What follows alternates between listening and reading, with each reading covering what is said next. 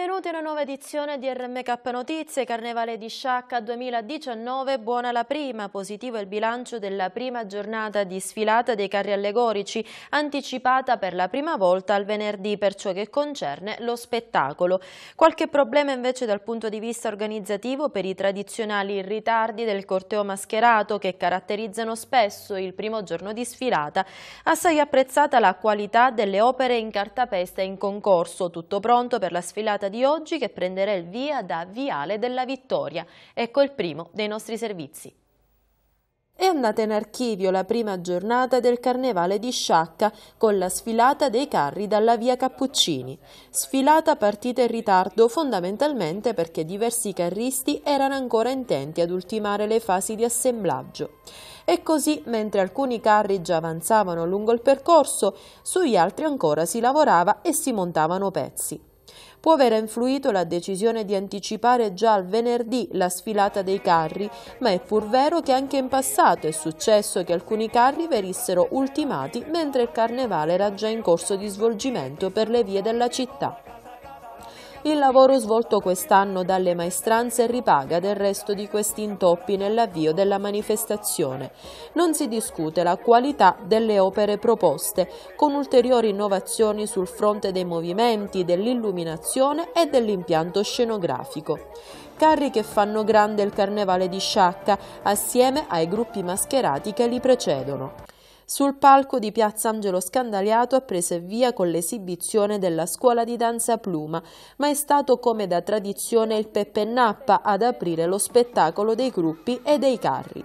E la manifestazione è entrata subito nel vivo della competizione con la recita dei copioni dei due minicarri in concorso, O Bella Ciao del comitato Nuova Idea e Ma Sushi dell'associazione La Nuova Avventura. Poi le esibizioni dei gruppi mascherati che precedono precedono i cinque carri allegorici di categoria. Buona la partecipazione di pubblico anche se chiaramente è per stasera e domani che si attendono le maggiori presenze. Oggi pomeriggio la sfilata prenderà il via da Viale della Vittoria dove i carri si sono posizionati ieri a tarda notte. Sul palco di Piazza Angelo Scandaliato lo spettacolo prenderà il via con l'esibizione dei tamburinari di Aspra.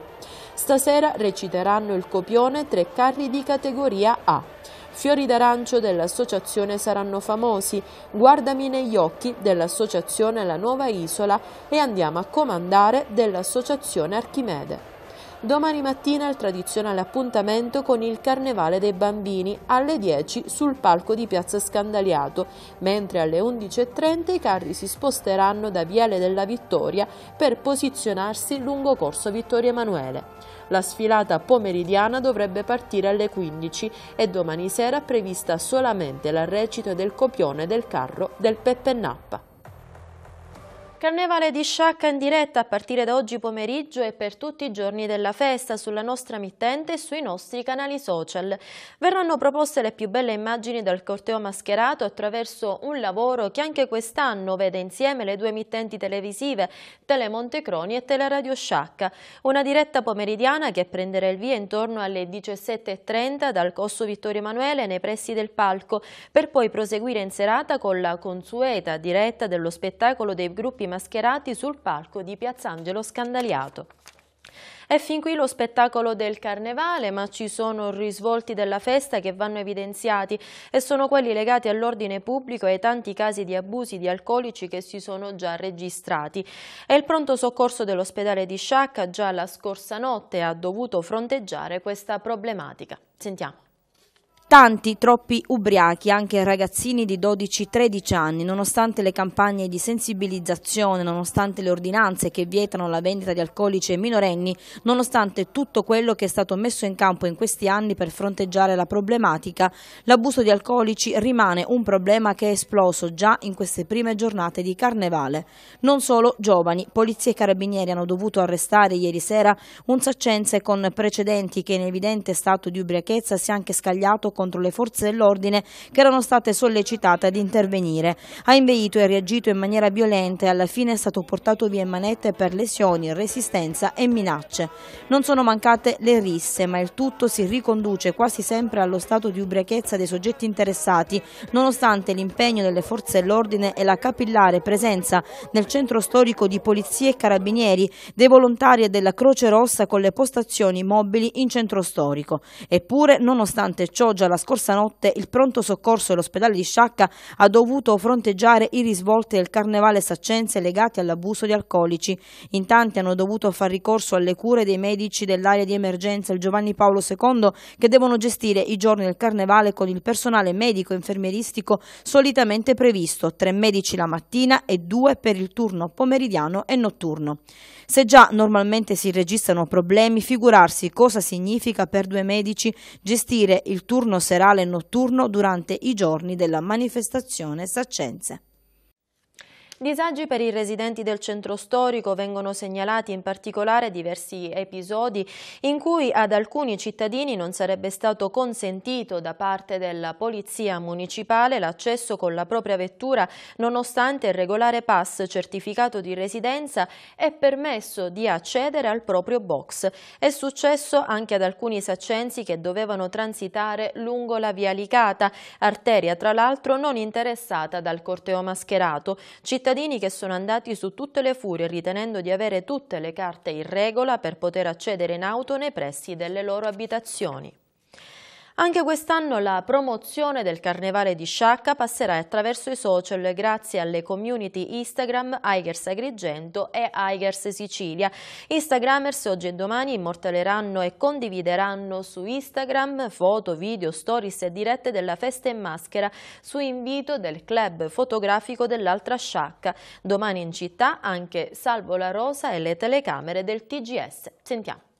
La community di Hagers Agrigento torna ad immortalare e condividere su Instagram il carnevale di Sciacca. Dopo la promozione social dello scorso anno si replica. Alle 16 local manager di Agers Agrigento Antonella Giovinco, Jessica Buscemi e Stefano Siracusa incontreranno gli Instagrammers radunati nella piazza principale della città, Piazza Angelo Scandaliato. Da lì prenderà il via la passeggiata social fotografica tra carri, maschere, street food e mille colori. L'Istan Walk sarà guidata tra gli angoli più belli del centro storico fino a raggiungere i carri allegorici che sfineranno. I partecipanti potranno così conoscere e condividere le allegorie delle opere in cartapesta e le caratteristiche della festa saccense. I migliori scatti della giornata saranno infatti pubblicati sui profili social Aigers Agrigento e Aigers Sicilia. L'iniziativa è organizzata in collaborazione con la Futuris, società organizzatrice della festa, e il club fotografico amatoriale L'Altra Sciacca Foto. Sarà presente anche una delegazione della community internazionale Couchsurfing. Anche domenica la community regionale Aigers Sicilia contribuirà a pubblicizzare su Instagram e social il carnevale con post, stories e dirette per documentare tutte le fasi della festa, così come sarà fatto con gli altri carnevali siciliani secondo una programmazione ben definita. E sempre domenica promozione anche in tv. Le telecamere regionali del TGS saranno a Sciacca per realizzare alcuni collegamenti in diretta all'interno delle edizioni dei TG sul canale canale 15 con Salvo La Rosa che racconterà il carnevale di Sciacca dal corso mascherato e la sera dal palco di Piazza Scandaliato. Ben ritrovati, ennesimo incendio nell'area delle case popolari di Largo dei Martiri di Via Fani a Ribera. Pare che ad andare a fuoco questa volta sia stato un cumulo di rifiuti. L'episodio si è verificato giovedì sera, si è reso necessario l'intervento dei vigili del fuoco del distaccamento di Sciacca. Ormai è una vera e propria emergenza sicurezza nella zona dove insistono questi alloggi che per ragioni burocratiche, ritardi e slittamenti ancora non vengono demoliti. Sentiamo Noemi Tummiolo.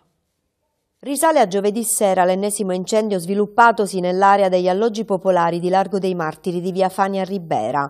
Ad andare a fuoco un cumulo di rifiuti. La zona è ormai una vera e propria discarica a cielo aperto che versa in uno stato di incuria, degrado e abbandono. Non si conosce l'origine dell'incendio e non si esclude la natura dolosa. Sul posto anche in questa occasione si è reso necessario l'intervento dei vigili del fuoco del distaccamento di Sciacca. La zona delle case popolari di Ribera continua dunque ad essere teatro di episodi spiacevoli e al tempo stesso pericolosi per la sicurezza pubblica. Non è la prima volta che accade. Nei mesi scorsi a prendere fuoco è stato un appartamento e le fiamme stavano per avvolgere l'intera palazzina. Queste case ormai rappresentano una fonte di pericolo non indifferente. Sono spesso abitate da extracomunitari che vivono lì in condizioni di assoluto degrado. Il sindaco Carmelo Pace si è più volte rivolto al prefetto di Agrigento per sollevare l'aspetto legato proprio alla sicurezza. È giusto la scorsa settimana c'è stata in prefettura una riunione del Comitato per l'Ordine Pubblico e la Sicurezza cui ha preso parte il primo cittadino. È stata anche chiesta la presenza dello IACP, ente proprietario degli immobili, cui è stato dato mandato di trovare una soluzione che consenta di garantire un servizio di vigilanza nella zona soprattutto nelle ore notturne. Diverse e continue sono le irruzioni delle forze dell'ordine all'interno degli alloggi per allontanare gli occupanti abusivi, ma dopo qualche giorno gruppi di extracomunitari riescono nuovamente ad entrare in questi immobili. Tutto tace, nel frattempo, riguardo all'inizio dei lavori di demolizione e ricostruzione delle case. Impianto biometano in Contrada Piana Scunchipani interviene anche la Commissione Consiliare Sanità che annuncia di voler attivare un comitato permanente del quale facciano parte i parlamentari agrigentini. Sentiamo Maria Genuardi. L'amministrazione sia più attenta alle problematiche del territorio e a quello che succede all'interno del Palazzo Municipale. Con questa premessa la Commissione Sanità del Consiglio Comunale, della quale fanno parte i consiglieri Carmela Sant'Angelo, Gaetano Cognate e Cinzia De Liberto, interviene oggi sulla vicenda relativa al progetto per la realizzazione di un impianto biometano in contrada Piana Spunchipani. Commissione che si era occupata della vicenda a partire dalla seduta dell'8 febbraio scorso e che successivamente aveva convocato per chiarimenti sia l'assessore Tulone sia l'assessore Leonte, apprendendo da entrambi che agli atti degli uffici competenti del comune di Sciacca non risultava alcuna istanza relativa al progetto. Commissione che ancora evidenzia di aver richiesto all'amministrazione di convocare il gruppo SNAM e la società Moncada anche in considerazione del fatto che sul sito della società il progetto risultava già realizzato.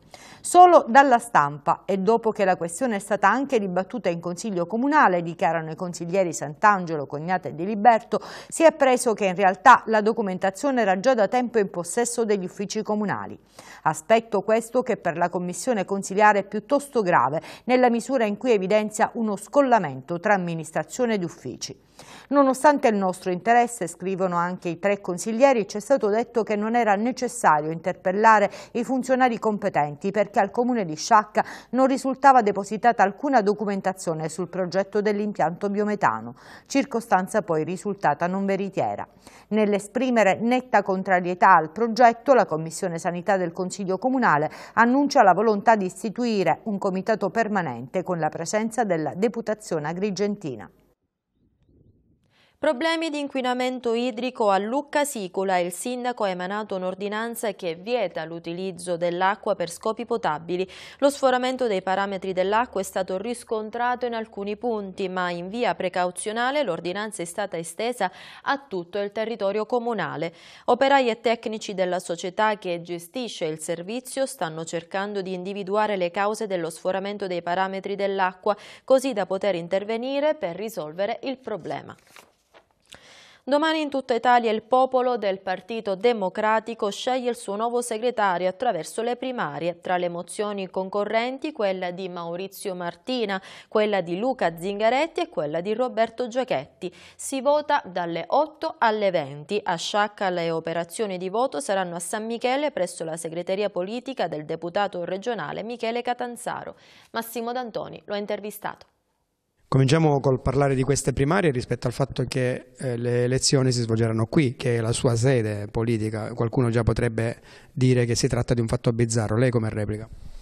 Io replico, intanto spero che non ci sia nessuno che possa polemizzare eh, sulla scelta del, della sede, perché questa oltre ad essere una sede aperta a tutti, al di là se magari qualcuno volesse fare passare il messaggio di essere la mia segreteria politica, è anche la segreteria del Partito Democratico, perché ancora per qualche giorno sono il segretario del Partito Democratico e quindi non abbiamo altre sedi.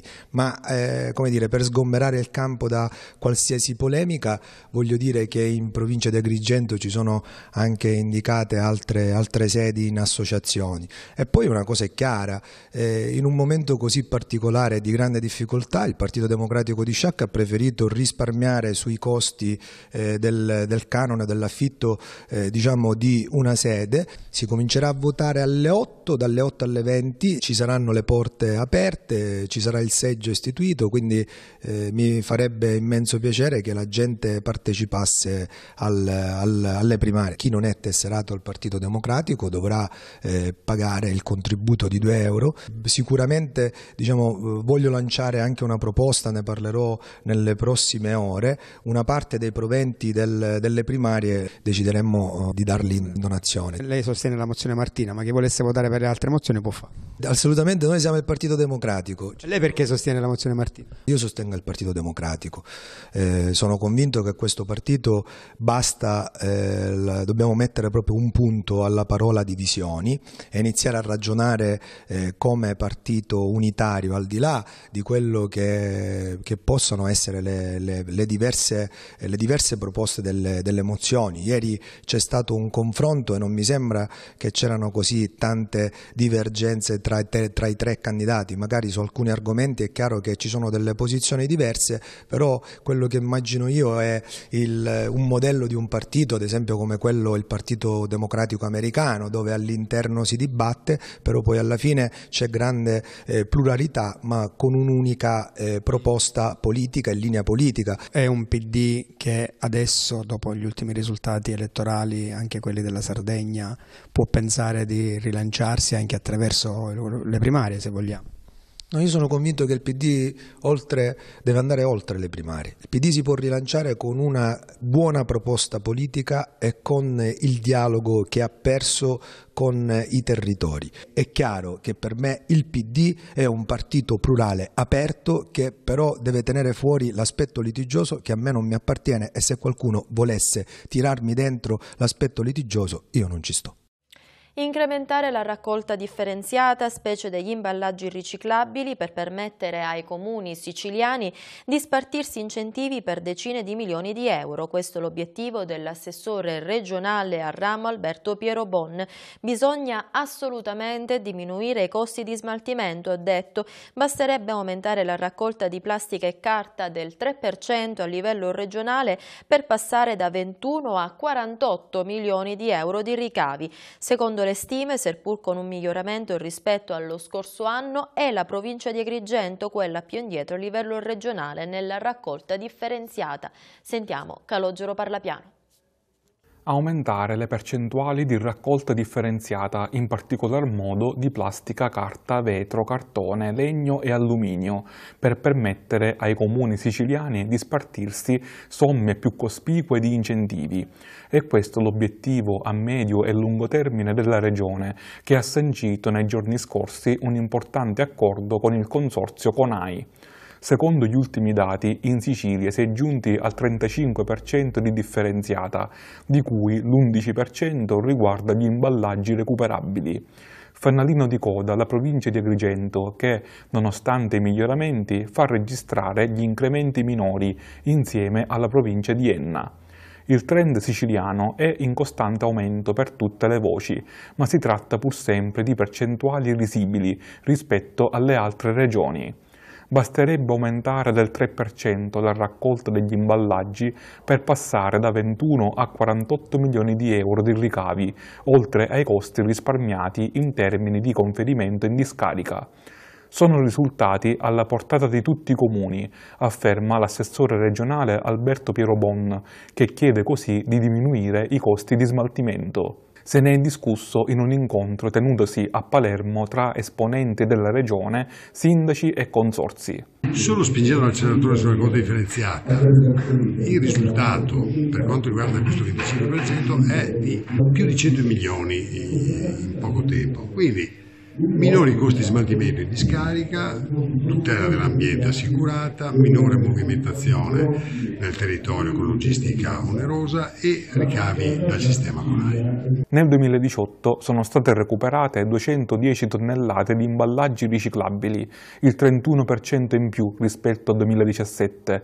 ma si può e si deve fare meglio, poiché dal recupero di plastica, carta, vetro, cartone, legno e alluminio si può ottenere un corrispettivo, una vera e propria boccata d'ossigeno per tanti comuni dell'isola in crisi finanziaria. Alunni dell'Istituto Mariano Rossi all'opera in un progetto PON dal titolo Rossi TV, un momento che li vede protagonisti di un lavoro di tipo giornalistico-televisivo. Vediamo. Si intitola Rossi TV, il progetto PON promosso dall'Istituto Comprensivo Mariano Rossi, scuola diretta da Luigi Abene, dedicato a studenti delle seconde e terze medie, che sta divertendo gli alunni che si stanno riscoprendo giovani giornalisti. Una serie di incontri con l'esperto esterno Massimo D'Antoni, al termine dei quali verrà fuori un audiovisivo su alcuni temi di interesse pubblico affrontati proprio dagli stessi alunni. E mi auguro che questa esperienza possa essere un'esperienza da ripetere anche negli anni successivi perché i ragazzi poi ne troverebbero un giovamento in, in, queste, in queste forme di riflessione. Nei giorni di carnevale i ragazzi di Rossi TV hanno intervistato il maestro ceramista Alberto Soldano che col compianto fratello Gaetano ha scritto pagine di storia del carnevale. Quanti carri avete creato lei e suo fratello? Nove carri più la collaborazione precedente che abbiamo fatto con le altre associazioni. Ci spiega come nasce l'idea di un carro allegorico?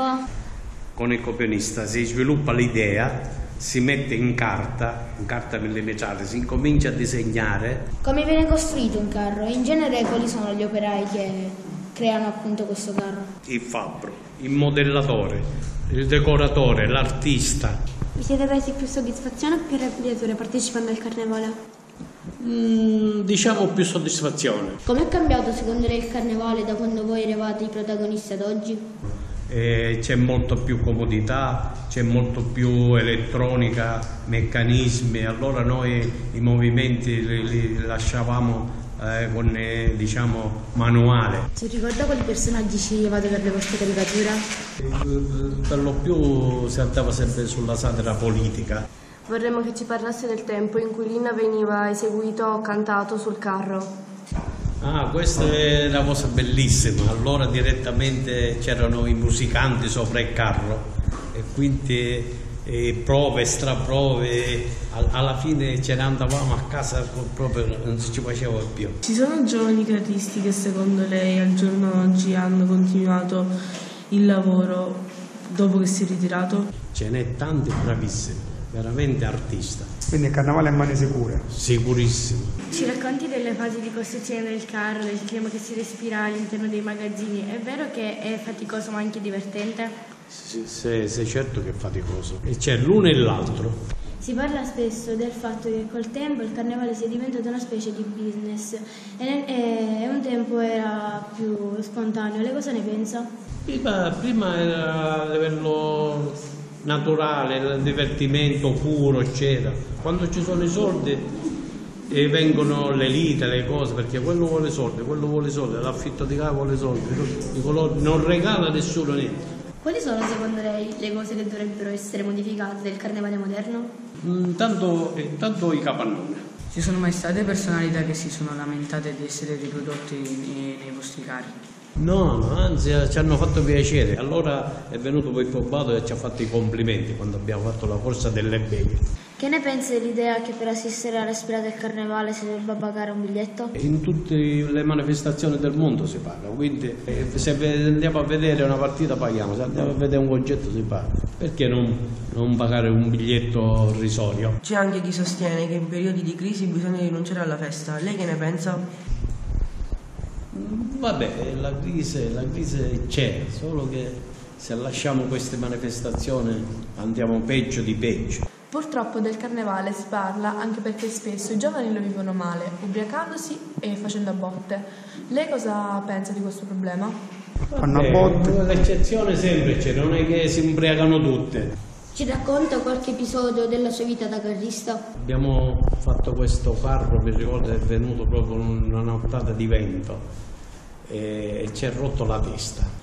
È venuto un coso comunale, dai dai andiamo avanti, andiamo avanti, se non c'è la testa come andiamo avanti? A quale posto metterebbe in una classifica ideale il carnevale di Sciacca fra quelli di tutta l'Italia?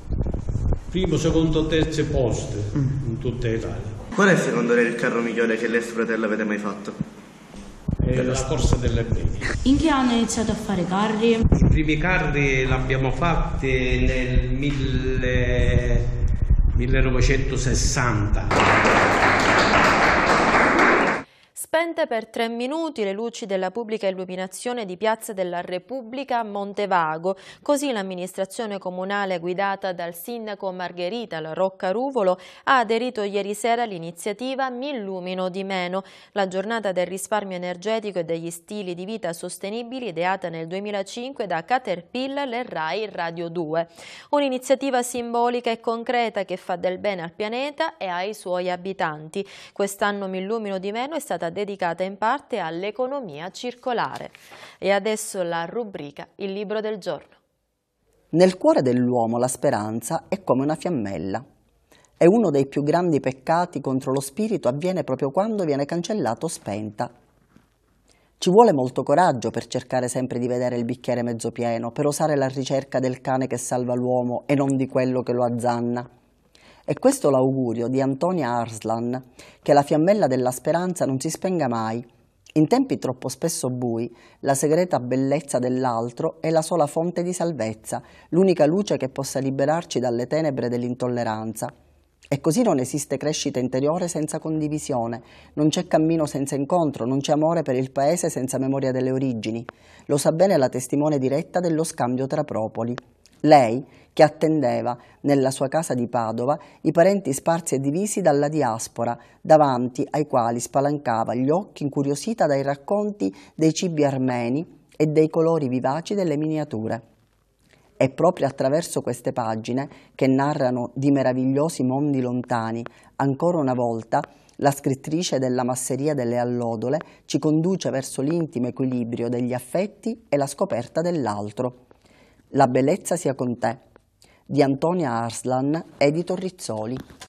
E con i consigli della libreria Mondadori di Sciacca si chiude qui questa edizione del nostro telegiornale. Grazie ancora una volta per averci seguito.